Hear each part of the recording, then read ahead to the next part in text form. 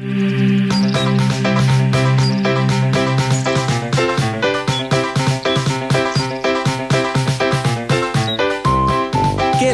ovat neljä kaikkeen kyrpiintynyttä kaverusta. Kele, Tana, Tu ja Sviddunääs. Nämä televisiosta tutut tuittupäät, keletapit, ovat joulun toivotuin lahjavinkki pukin konttiin. Keletapit ovat eri pituisia. Sviddunääs on suurin ja hänen pinnansa katkeaa todella helposti. Tu on pienin, mutta hän kiroilee eniten. Tana on vihreä keletappi. Hänen suosikkieesineensä on koskenkorvapullo. Kele on keltainen ja hän saa usein raivokohtauksia. Keletapit vihaavat toisiaan hyvin paljon.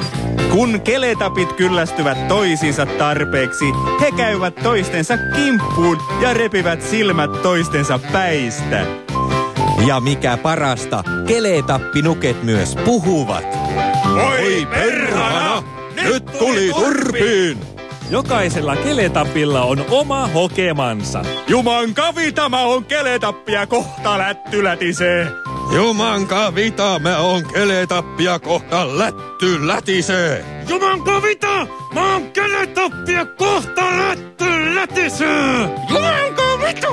Mä oon keletappi ja kohta lätty lätisee! Eikä tässä vielä kaikki.